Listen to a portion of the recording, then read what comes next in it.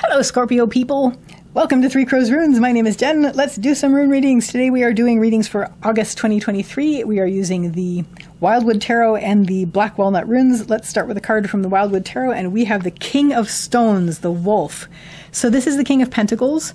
Um, the King of Pentacles generally looks a lot more abundant than this. Generally, there's more grapes, but you are still the King of Stones, the Wolf. You are very much.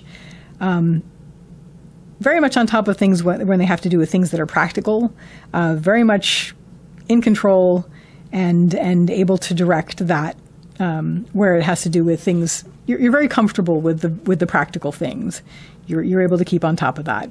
So that's what this month is really going to be focused on. Is just basically keeping on top of practical matters, things that have to do with keeping life happening, um, and keeping everybody fed nourished, protected, and in a in a sense of abundance, even if it's the dead of winter. Where I am, it's not the dead of winter. I am in the northern hemisphere, so it is hot. But anyway, that's what I mean. So, King of Stones, King of Pentacles, that's what your month is going to be like. Um, let's see what the runes have to add. So, your central issue this month is um, Scorpio is Kaunaz reversed. Kaunaz is the rune of the fire or the torch. Um, when it's upright, it has to do with something that starts small like an ember and goes into a blaze. However, when it's reversed, it has to do with focus, um, just basically a honing of focus. It can also have to do with a narrowing of options. So you may have a situation where um, you have to really hone your focus in order to continue um, making sure that people are surviving and people are taking care of the practical things that are conducive to being nourished, being sur- sur- surviving, and all of that. Um, leading up to this, we have Ansuz reversed. So Ansuz are the communication and manifestation. Maybe leading up to this, there has been uh, maybe not as much communication as you would like to be having. Maybe communication has been a little bit difficult. Um, However, there may have been more inner communication having going on where you are very much in communication inwardly uh, with your inner voice, with your inner sensibilities, and possibly with NOR figures, your guardians and guides. Um, but I'm seeing this more as like an inward, an inner communication situation where you've been very, very active. Whether or not you've been outwardly communicative, you have been very active inwardly in communication with what you know you need, perhaps with your instincts, given that this is a wolf um, and taking care of things in the winter. So this has led you to this point where, okay, this month you are really going to be honing your focus on what needs to be done to make sure that everybody around you has enough to eat and is protected and sheltered and has what they need uh, from a practical standpoint. What is going to help you is, just like with this, you're going to be listening to your own inner um, instincts and what you know you need. So you're going to be dancing to your own drummer this month or marching to your own drummer this month. Um, that's what's going to help you the most is to continue to let that communication be going on and to continue to be taking that advice, not the din of humanity, not what you know what people. It's like, oh, you oughtn't to do that. You ought to go and do this. It's like, don't you know? You obviously thank them for their concern, but ultimately you're going to go with what you know works because this has helped you survive and the ones you love survive, and you're going to be going with that.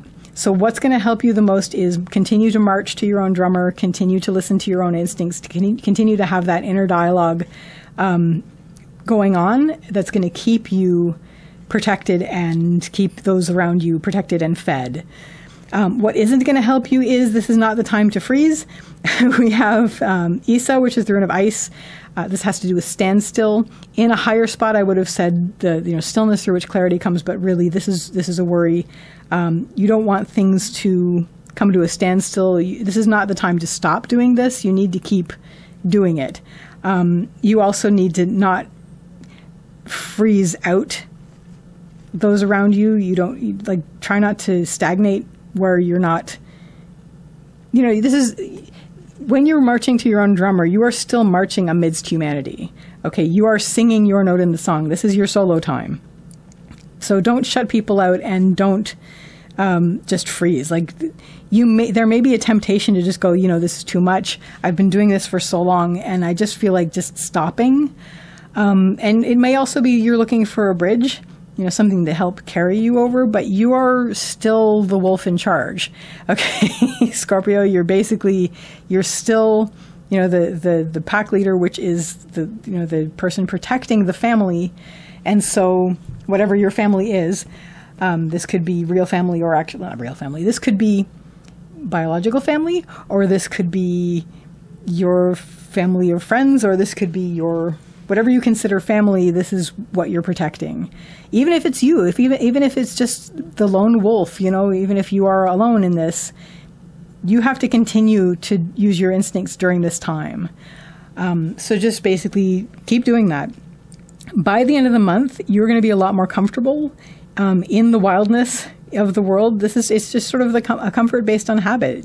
The more you do this, the better you're going to be at, at it. The more it's going to become second nature, and even if things still are feeling wild and out of control around you, you are a part of that nature. You are nature also. And so you, as you know, singing your note in the song um, and following your own instincts, can navigate this. And by the end of the month, you're going to be much more comfortable doing that. So that, Scorpio, is your reading for August 2023. I wish you all the best with this, and I wish you a lovely day or evening. Take care till next time. Bye.